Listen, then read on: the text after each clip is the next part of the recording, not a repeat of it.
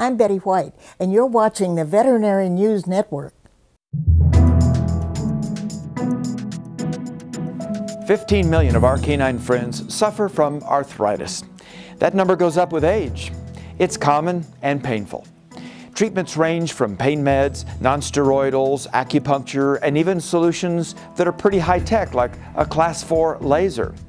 But a new treatment involves little more than your dog's own blood, and it's gaining a lot of attention and giving us some new hope.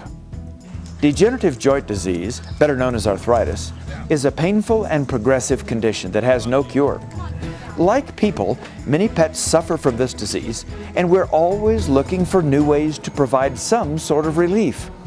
Recently, treatments that involve concentrating blood platelets have increased in popularity with both human sports medicine and orthopedics.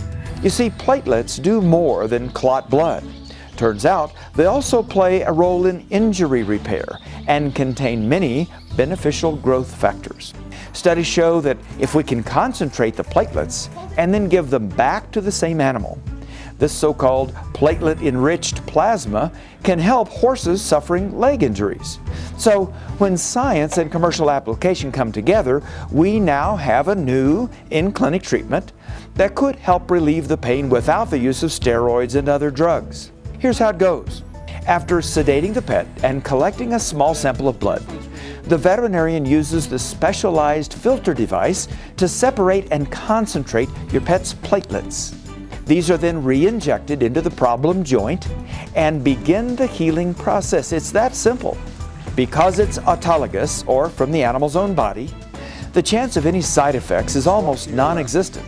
Also, the short procedure time and no need for special equipment means this kind of therapy can be done almost anywhere, including right at home or on the farm. Pet owners are reporting improvement in their pets and using very sophisticated scales to rate lameness and pain. Even veterinarians are reporting many dogs with less pain and better mobility.